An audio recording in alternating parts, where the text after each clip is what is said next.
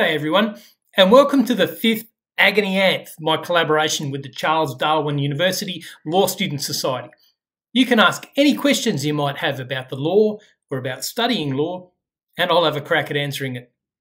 This time, one of our CDU students has asked, How can I apply for a review of my grade without irritating the lecturer? This is a really good question. Theoretically, of course, you should never have to need to worry about irritating the lecturer. You should be able to seek a review of any grade you like, and the lecturing staff should have to cop it on the chin. But in reality, education and marking are a human business. When you ask for a remark, you're implicitly suggesting that the lecturer or whoever else marked your paper hasn't done it right. And if you're going to run into that lecturer again, or if you're going to submit other things in that same subject, it is kind of sensible to make sure you're not shooting yourself in the foot. The first thing that I would say about reviews of grades is that in the law, just as in all of the other humanities, grading is always going to be at least partly subjective. There is no correct grade. There's always the chance that a paper that you've written might have gotten a better mark from some other marker. That's just the way it is.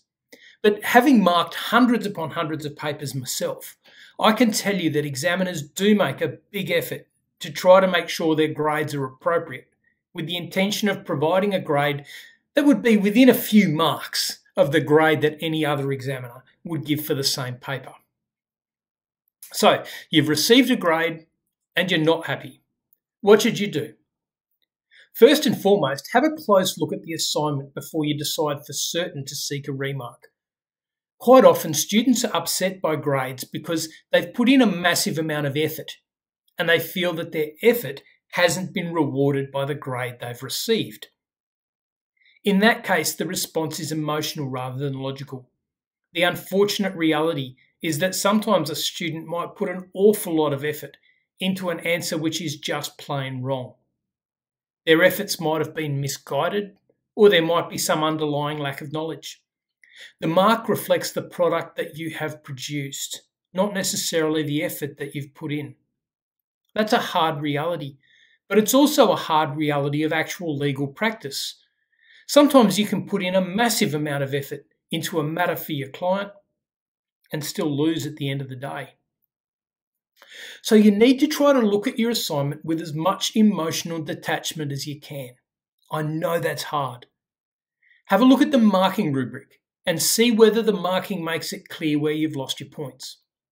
Then go back and have another look at the paper See if you can find a way that the grade might be right, even if you don't agree with it. Second, have a look at the feedback. I know that a lot of markers take the same approach that I do of providing more feedback the worse the grade is. If I'm giving someone a high distinction, I don't need to give them a gazillion comments telling them how great they are. But if I'm going to give someone a fail grade, I'll give them a lot of comments to try to help them to see where they've gone wrong. Try to read the comments as being the lecturer's attempt to assist you to grow academically.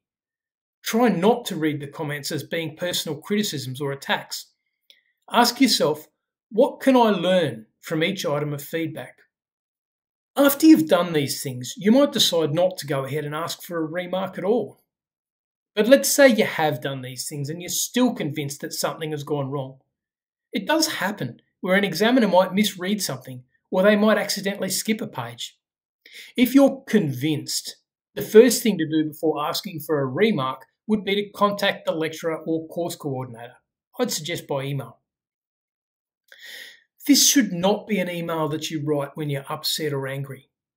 This email is going to be an exercise in advocacy. You do want to become a lawyer after all. What the email should say, in your own words, is that you were somewhat surprised and disappointed by the grade that you've read the feedback and looked at the rubric, but you're still struggling to understand how your work resulted in this grade. Ask if you can obtain further feedback. Be specific. Don't just say, I'm unhappy with my grade and I want further feedback. Say something like, In the feedback, the marker indicated that I did not sufficiently consider the Australian consumer law. However, almost all of page four of my assignment relates to the Australian consumer law. And I've looked at the Australian consumer law again following the feedback, and I'm really still not sure what I've missed. Can I please get some feedback as to what aspects I should have covered? If you send an email like this, written well, there's absolutely no reason for any reasonable lecturer to feel upset. They can then go to your assignment and have a look, bearing in mind the issues that you've raised.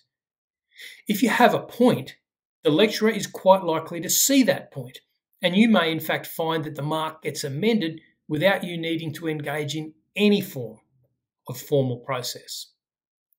If the mark doesn't get changed, you should at least get additional feedback, which means that you'll be in the most knowledgeable position possible before you decide for certain whether to seek a review.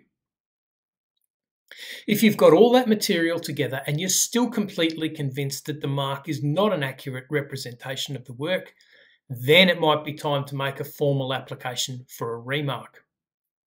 Every university has a slightly different formal process, but in almost all cases, the process means that the essay will be re examined by somebody different to the person who marked it the first time. When you do submit for a remark, I would suggest that you email the lecturer at the same time. Thank them for the feedback that they've provided and tell them that you'd still like to have the essay regraded and that you've commenced the formal process. Tell them outright that this is not intended as a slur upon the marker, but that you really do want to be sure that the mark properly reflects your work.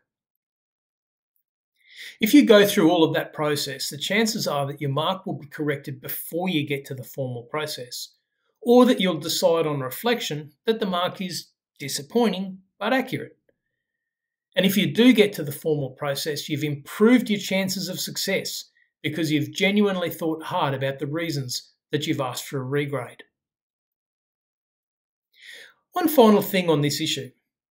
I've never minded students who got narrow fails rolling the dice to try to get a passing grade the second time round. I completely understand. I've generally had less time for students who were, say, one mark short of a high distinction and who come back to me arguing that on the rubric they should get an additional half mark for this and an additional half mark for that. In reality, rubrics only get you halfway there. There's still an overall assessment that must be made by the lecturer to confirm that the paper really is in the right band.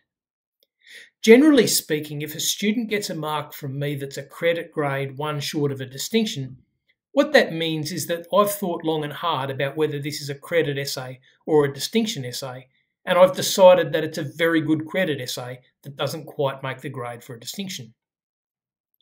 Badgering an examiner for an additional mark or two in those circumstances is likely to be considered much less generously than a student who is genuinely confused as to why they've received the mark that they've received.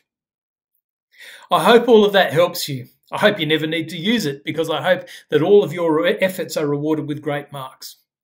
Please keep the questions coming. And the more interesting the questions are, the more interesting my answers can be. Look forward to seeing you again soon.